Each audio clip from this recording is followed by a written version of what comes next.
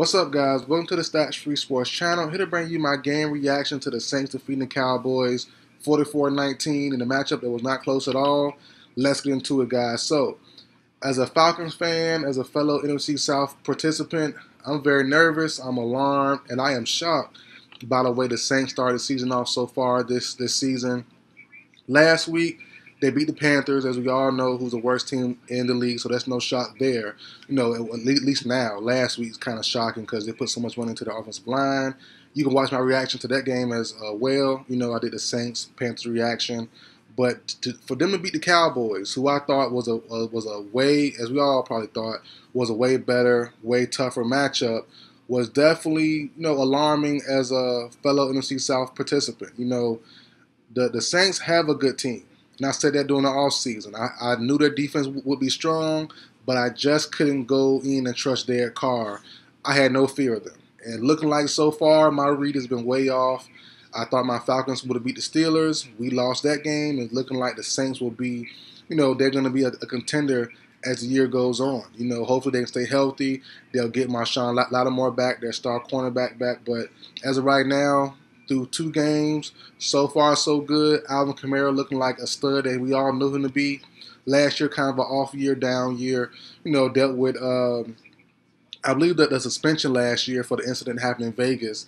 A couple game suspension, if I'm not mistaken, but just an off year for for New Orleans Saints. But this year, they're back prime, ready to go. Kamara, 20, uh, 20 carries, 115 yards with three touchdowns. Another touchdown came in the air off that uh, screen pass. Rashid Shaheed, speedster from last year, broke out last year. And when I did my breakout list, I didn't mention him this year. You know, he, he kind of broke out last year. But so far, through the first two games, he's looking on. He's looking crazy. He's looking crazy, man. Uh, he's a deep ball monster, and he beat the. Uh, I think he was double cover. He, he either double cover or he had you know a man on man coverage plus the safety help over top, and it didn't matter. None of that mattered. Rashid Shaheed looked very good through the first two games. Chris Olave came alive today, still no touchdown, but four catches for 81 yards. And that defense for the Saints shut down shut down that, that run game. Uh, no, and CeeDee had uh, a pretty good game, seven targets, four catches, 90 yards. But overall, you know, they held, they held the Cowboys in check pretty much all day long. Now going to the Cowboys, um, not bounce back to the Saints a little bit later, but going to the Cowboys now. Dak looked okay. You know, that Saints defense was humming all, all the way around. The pass rush was getting to him. He threw two interceptions, uh, 27 attempts, um, excuse me, 27 completions, 39 attempts, uh, two picks, one touchdown. You know, it, it's tough. It's tough when you have no no good run game.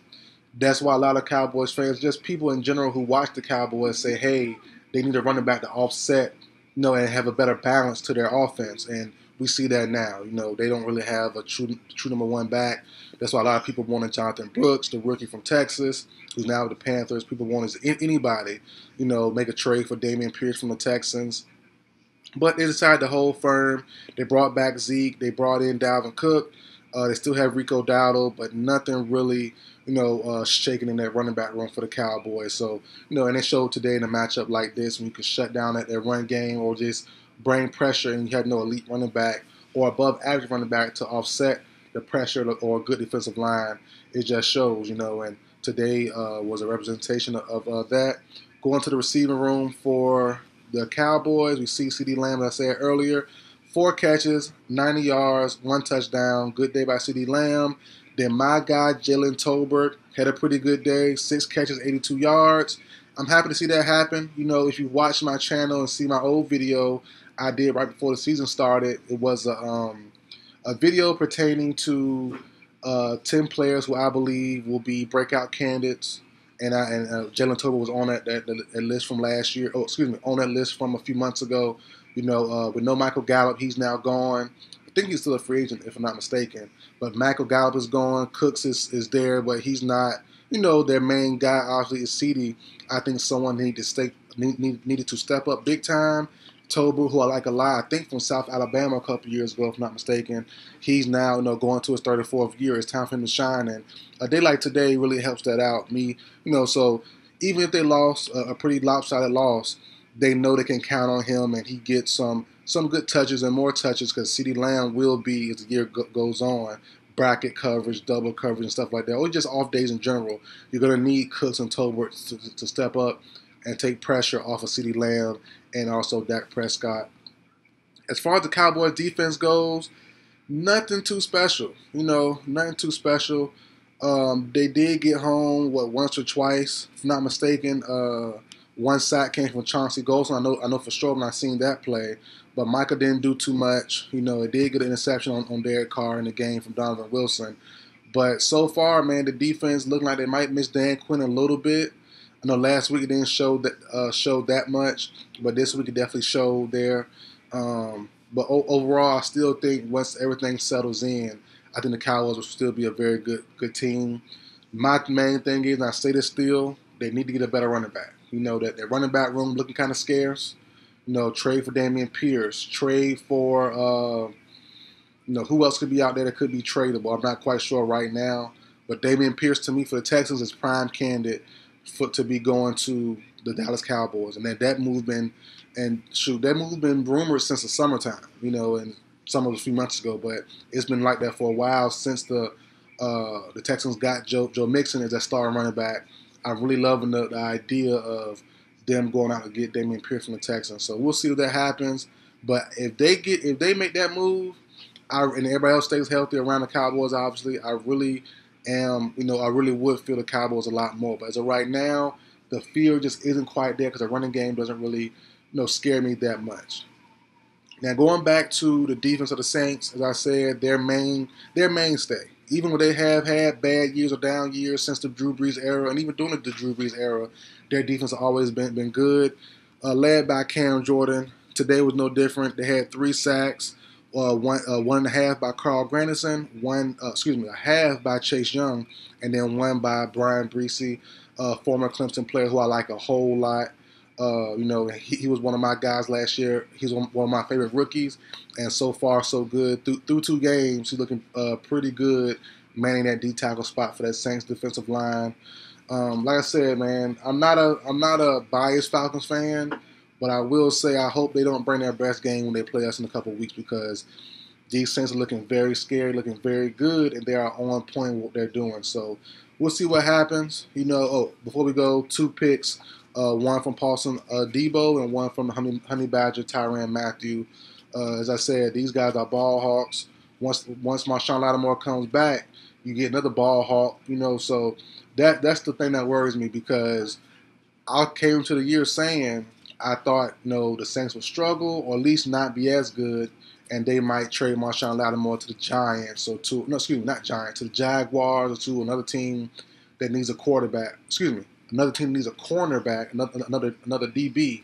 But the way it's looking now, you know, Marshon Lattimore when he returns will come back to a very good team, to a contending team, and that's the part that worries me being an NFC South, you know, participant with the Saints. So, you know, I, I had it as a as a as a two team race, my Falcons and the Buccaneers, but the Saints look like the best team as of right now. I think the Bucks are 2 0 as well, but from what we've seen so, so far through two games, the Saints like the best team in the NFL and definitely the best team in NFC South. So we'll see how everything shakes out. It's a long season, but so far so good for the Saints. Uh, we'll see what happens next week. I think the Saints have. Let me see. I have the schedule right here. The Saints play the Eagles. Pretty good matchup. Pretty tough matchup. Then they play my Falcons. Then they play the Chiefs, and then they then they then they play the earlier mentioned Bucks. So tough four game schedule you know, and, and, you would think five games with this Cowboys game prior to this game happening, but you know they handled the Cowboys with, with, with, ease. So we'll see how they handle the next two teams, the Eagles and my Falcons, these next couple weeks. The Cowboys, their next two matchups.